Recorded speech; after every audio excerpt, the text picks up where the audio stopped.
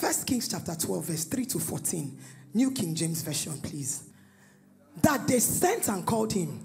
Then Jeroboam and the whole assembly of Israel came and spoke to Rehoboam, saying, Your father made our yoke heavy, lighten the burdensome service of your father and his heavy yoke which he put on us, and we will serve you.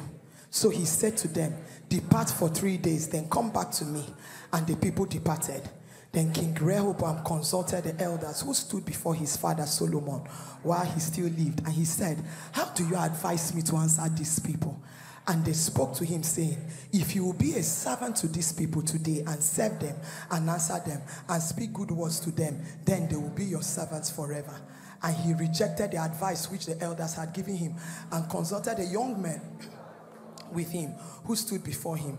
And he said to them, What advice do you give? How should we answer these people who have spoken to me, saying, Lighten the yoke which your father put on us?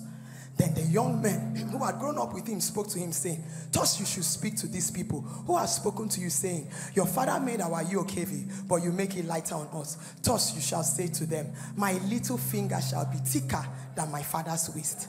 And now, whereas my father put a heavy yoke on you, I will add to your yoke. My father chastised you with whips, but I will chastise you with scourges. So Jeroboam and all the people came to Rehoboam the third day as the king had directed, saying, Come back to me the third day. Then the king answered the people roughly and rejected the advice which the elders had given him. And he spoke to them according to the advice of the young men, saying, My father made your yoke heavy, but I will add to your yoke. My father chastised you with whips, but I will chastise you with scourges. 16 to 19. Now, when all Israel saw that the king did not listen to them, the people answered the king, saying, What share have we in David? We have no inheritance in the son of Jesse. To your tents, O Israel. Now see to your own house, O David. So Israel departed to their tents. But Rehoboam reigned over the children of Israel who dwelt in the cities of Judah. Mhm. Then the king Rehoboam, uh-huh, continue, uh-huh, stoned him stones and he died. Therefore, King Rehoboam mounted his chariot in haste to flee Jerusalem. So Israel has been in rebellion against the house of David to this day. Can we see verse 4 in message translation? Verse 4, verse 14, and verse 16 in message translation. Verse 4. Your father made life hard for us, walked our fingers to the bone. Give us a break, lighten up on us, and we will willingly serve you. And went with the advice of the younger set. If you think life under my father was hard, you haven't seen the half of it. My father thrashed you with whips. I will beat you bloody with chains. 16. When all Israel realized that the king hadn't listened to a word they said, they stood up to him and said, Get lost, David. We have had it with you, son of Jesse. Let's get out of here, Israel, and fast from now on. David, my, my mind your own business. And with that, they left. See that in the presence of God. As I lay the foundation of this scripture, I know that what you have read, you have understood in a number of things. Now we know a yoke. One of the meanings of a yoke is a long piece of wood which is tied across the necks of two animals, such as an oxen, in order to make them walk close together when pulling a plowing or, or when plowing. Now, another definition of yokes is that yokes are anything that makes life hard. You know, at times when we say yoke, some people will be thinking, what is this yoke we're talking about? Yokes is anything that will make your life hard, make your life difficult, make your life unbearable. That thing becomes what? A yoke. Do you understand that? It is also an immense oppressive force. Anything that is oppressive, an oppression, a force, a burden, or an enslavement, that is a yoke. And in this scripture, we got to see that yokes can be put on people by people from this scripture. It is not, you know, at times when you are praying yoke, you think it's the devil alone that is putting the yoke. A human being can put a yoke on you. And that was what happened in this scripture. And the person that put the yoke on them started with King Solomon. King Solomon started by putting, making these people work hard, work tirelessly. If you can remember the children of Israel in Egypt, you remember that's the kind of thing that happened to them as well. When Pharaoh began to put what hard burdens and yokes on them, making life difficult for them. And as long as he made life difficult, as as when they complain, the more they complain, the more he wasn't what they carried. What am I saying? I'm saying that in this season, as we talk about all yokes must break, when you meet yokes, you don't go to negotiate with yokes. You don't try to talk with a person. Let's say a yoker. A yoker is the person that is a, that is yoking you, that's put you in a yoke. You don't start trying to have conversations about your yoke or try to see, see, see. When problems come, that's not the time to cry. Crying will not change your situation. Uh, when you try to negotiate and explain your situation or complain, it will not change it. These people went to Rehoboam thinking they could reason things out with him, but you don't reason things out with a yoker. I don't know if you understand. When you meet a yoker, it's not time to reason things. That is why sometimes the negativity you are facing is still there because you are still talking nicely to the situation. You are still trying to understand the situation and get the situation to understand you. And at times you lie on your pillow and you cry. Eh, eh, that crying has to stop. The more you cry, the more you make the enemy happy and the more you make what you are going to increase. Have you noticed that times after crying, after crying, the things gets worse. It doesn't get better. Why? You don't negotiate. That's not the time. You that is not the time to come and meet a yoke. Yokes do not just go away because you asked it to go away. It won't go away because you asked it to go away. Hallelujah. Are you hearing what I'm saying? It doesn't go away just because you asked it to go away. You don't negotiate terms of contract with a yoke. They went and met him and they said, You know what? If you do this for us, we will serve you. And he looked at them and said, I don't care. You, this service will serve me. Whether you do it, whether I reduce it or not, you must serve me. So they were trying to negotiate terms of contract. We are not negotiating terms of contract. Today, I have come to raise angry people. I want you to be very angry at that situation. Because the Bible says, since the days of John the Baptist up until now, the kingdom of God suffered violence. And it's only the violence that will take it by force. Can someone say, I take my victory? Oh, I cannot say, I take what is mine by force. Oh, you're not sounding like you know what you're saying. Say, I take what is mine. You know that thing you have been waiting for this week. Better say it like you have. And say, I take what is mine by force. Uh, I take what is mine by force. Uh, I take what is mine by force. If you believe you have taken it, let your amen be the loudest. Come to we, what we do is that we enforce our authority, we enforce who we are.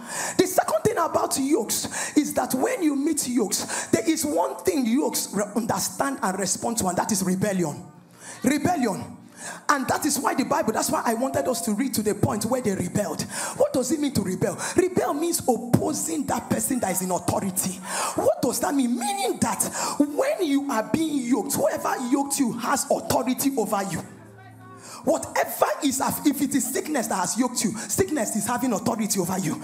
Anything that is plaguing you has authority. You know what happens when someone has authority over you? The thing begins to control you. You don't want, you want to go out today, but your head starts spinning you. So you have to sit down in the house. But what you wanted to do, you had these plans to. But because of that headache, bad headache, bad waist pain, leg cannot move, you sit back. Who is in control? It is the situation that is controlling you. That is what happens when a yoker comes into your life. It comes to control. But rebellion says, I oppose you. Ayaka shakata. You must come from that place of opposition. I cannot allow you. So the next time your waist pains, you tell your waist, what kind of? Come on, get out.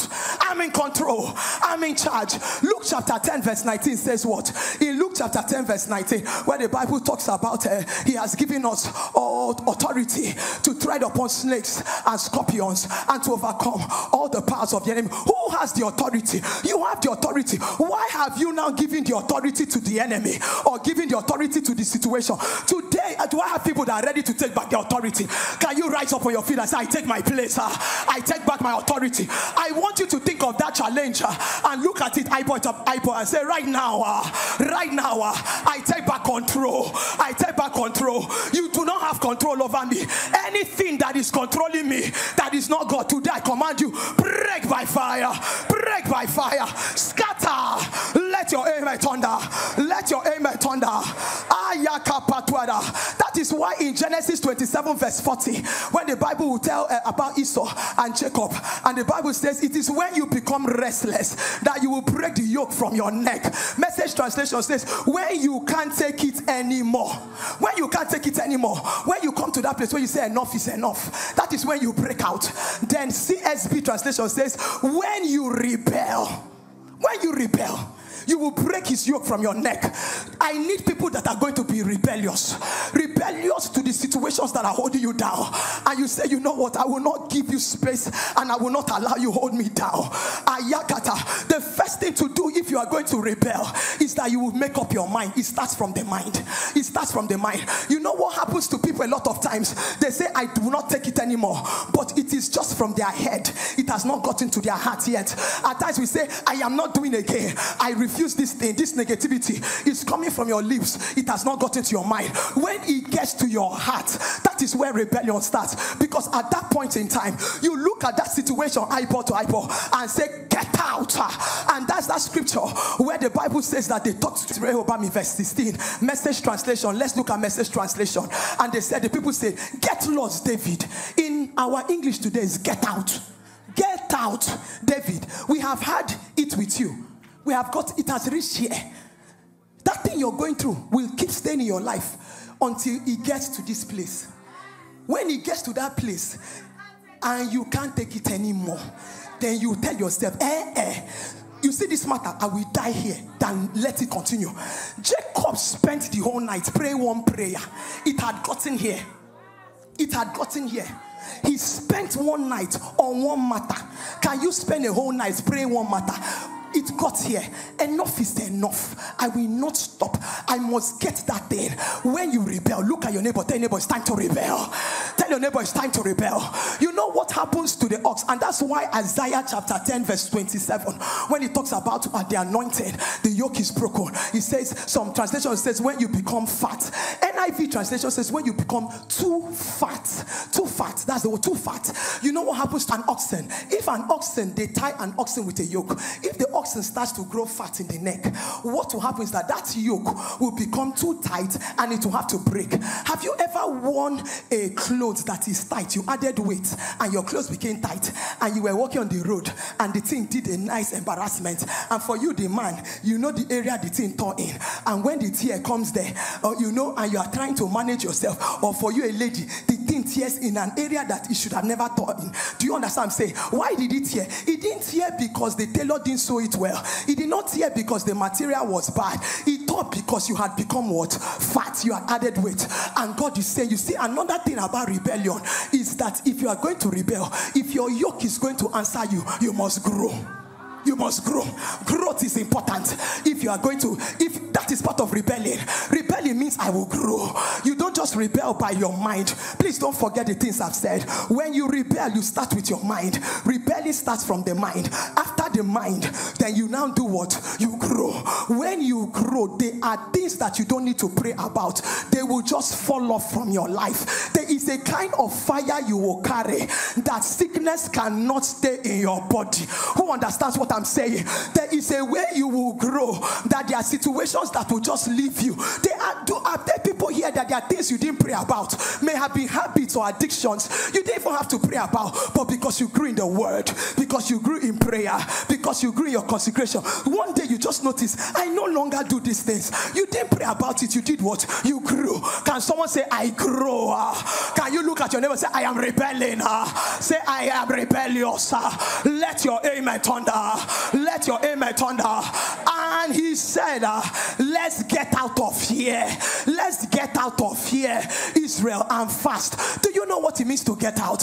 When you are getting out, it means you are leaving a place. So, what he was invariably saying, or what they were invariably saying, was that let us leave this place. If we leave this place, we are moving to a next level. Once you move a place, the next place to get to is your next level. So, what you do when you rebel is that it moves you from your current place to where? To your next level. Ayaka Shabada. So they said, you know what? It's time for us to do what? It's time for us to move. Can someone say it's time for me to move? Can you look around your life and things that are afflicting you that you don't like and say, I am moving right now. I'm moving right now. I'm moving right now. Oh, I can't hear you say, I'm moving right now. Because you know what? That next level, when they say they were leaving, your next level is still part of what? Your growth phase. It is still part of your growth phase. So it is time to do what? It's time to move. Ayakasha. I pray for somebody today. You see where you are right now.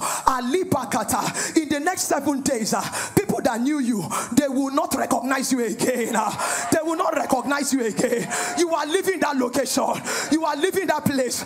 I don't know. There's a business, someone in business. Uh, your business location right now, you don't even like the premise where you are, and you have been wondering how you move. I don't know why God is saying it, but you see today in this service, that before 14 days, you will get a better location. You will get a better spot for that business in the name of Jesus. Receive it with the loudest amen. Receive it with the loudest amen. Uh, those that thought they knew you in seven days, uh, they will not recognize who you have become. Uh, they will not recognize who you have become. As your amen will turn in this second half of the year, because all yokes have been broken. I announce Ayakata, your yesterday will never look like your today. Your yesterday will never look like your tomorrow. Arise by fire. Arise by fire. Arise by fire. Can someone say, I move by fire? I move by fire. 20 of you, Makatana, this week may you enter a next level. Uh, whether it's in your spiritual life, uh, move to your next level. Financially, move. Uh, career wise, move. Business wise, move. Let your amen make it your reality. They said something, we will serve you. We will serve you. They were ready to serve. But you see, my take is that they were ready to negotiate, they were ready to get into a partnership. Reduce this yoke, we will be servants to you. God said something to me when I got to this point. He said there are some yokes that are we are currently on that is currently holding us. We did not put ourselves there by ourselves. It was somebody that entered an evil partnership on our behalf. Your forefathers said something. They wanted something. They said, Give us this, and we trade with this. And that is why you are where you are. Trade. A trade took place that you were not even aware of. Every day you're fighting against delay. Every day you're fighting the firstborn in our family first daughters, last born, this one. Why is it that this thing happens in our family and an evil partnership took place? Maybe they needed something at some point, years when you were not born. And they said, you know what? If you want this, you will give us this, you release this. And they did that. They are dead and gone, but that is still what is afflicting you. You see, I don't care what kind of yoke that one is. Uh, wherever you are, rise up on your feet. No longer shall our fathers eat our grape. There is a scripture for it. And the children still to be set on edge. I don't care who went into partnership, evil partnership, demonic exchange for your life and that of your family members. And that is why I want to stop, but I need you to understand. Have you been married to a family and they say, Have you noticed that in this family there's this thing that happened to, you know, people, you know, uh, does it, it looks as if I'm the only person, you don't understand what I'm saying. Who understands what I'm saying? You just, you just say, you know, you enter a family and they just say, you know, in this family, this is what usually happens. When did it start? Somebody did something years ago that nobody knew about. I don't care. I am kneeling on this altar of fire. Hey, the God that breaks covenants by the blood of Jesus. As the Bible has said, it shall no longer be said that the fathers have eaten sour grapes and the children's teeth are set on edge. It shall no longer be said that you are going through an affliction, you are going through a negativity because of what your forefathers did. Let your amen thunder. You didn't hear me, it was a prayer I made. I said, It will no longer be said while you are going through what you are going through is because of something your uncle, your auntie, your forefathers did. Uh, today we decree whatever was done uh, without your knowledge, uh, let it break by fire. Let it break by fire. Let it break by fire. And I want to make this prayer. God just put it in my heart now. He said, You're praying for the ones they don't know. And He said, There are people here that have done things they have gone into covenants. I didn't plan on saying this. I heard it clearly. They have actually done exchanges for the next generation because of something they wanted. I will not tell you to come out, but per adventure you have done something, knowingly or unknowingly. That is how people join occult. They go and they say things. You finish saying things. Tomorrow, you don't know the one they have said that is following your children. You don't know the one that is following, you know, your family And that's how you tie people's destiny. I remember there's the man in the Bible that I keep remembering Hezekiah. Hezekiah, after what he did, and Isaiah the prophet told him that, See this thing you did, this king of Babylon will come and take everything from you. You know what he said? And, and they told him that it was not going to happen in his lifetime. It will happen, you know, when he's dead. He said, It's fine. Since it's not my lifetime, it's fine. What kind of wickedness is that? So, because it's not your lifetime, you don't care what will happen to the next generation. Some of us, it is out of pressure we have done the things we have done. And we felt so pressured and we just wanted relief and rest for ourselves, forgetting that you have children that are still going to grow and you have left things, battles that they will fight. Today, mercy is finding you. Whatever it is that has been done, oh, because it is all yokes, all yokes. These yokes, we, we do not have an explanation. Whether we enter them knowingly or unknowingly, it is all yokes. By the mercies of God, I command Ayikepe, whatever covenant you have entered into, knowingly or unknowingly, I command it to break by fire. Church, your amen is not sounding loud. This is deliverance for a family. This is deliverance for a generation. Let your amen thunder. Let your amen thunder. Today I announce all yokes are broken. All yokes are broken. All yokes are broken. You are free in the name of Jesus. Whatever is due, you receive it. Uh. Whatever is that miracle answer you have been waiting for, receive them now. Carry them now. Carry them now. Carry them now. Carry them now. Than now, this second half of the year will be back to back testimonies, back to back celebrations, back to back congratulations because all yokes are broken. Enter your rest. Enter your rest. No more battles.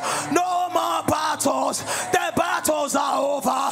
If you know this is your Rhema word, let your amen thunder seven times.